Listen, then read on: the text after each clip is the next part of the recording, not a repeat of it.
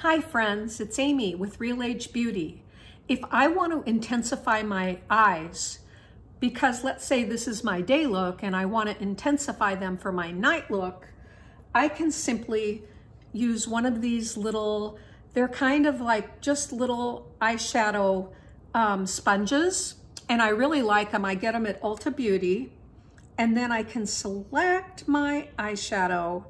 I'm gonna go with one that's a little bit shimmery and have a little bit of gold on it. I'm gonna go ahead and go a little bit deep.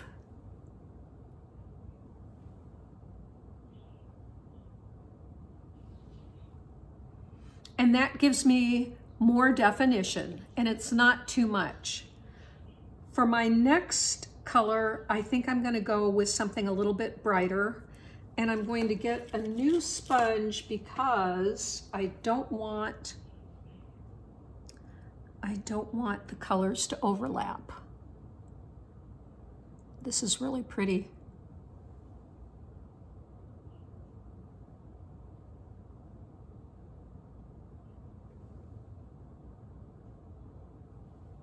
For blending, I'm gonna take a clean sponge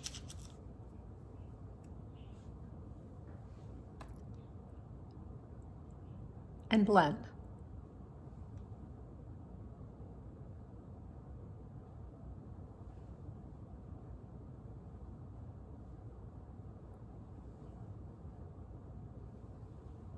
I think that's really nice because it gives a little bit of shimmer, but it's not too much.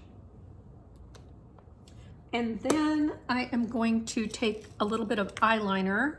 In this case, I'm going to be using a, a dark chocolate. It's actually called Intense Chocolate from Clinique. And I'm gonna line the inner rims of my eyes to give me a look that's just a little bit more intense and defined. And then I'll do the inner rims on the top.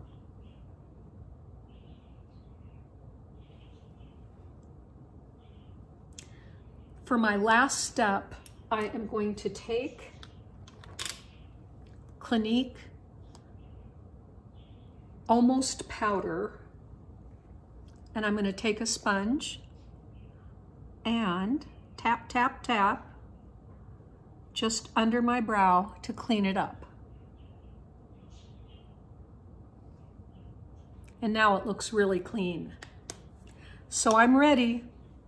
I already applied my lipstick, but I'll show you what it is. It's MAC Cosmetics, and it's a beautiful, um, lovely lip balm. And it is called, I'll put it in the, um, I'll put it in in the description because I can't read it, sorry. But anyways, um, it's a lip balm.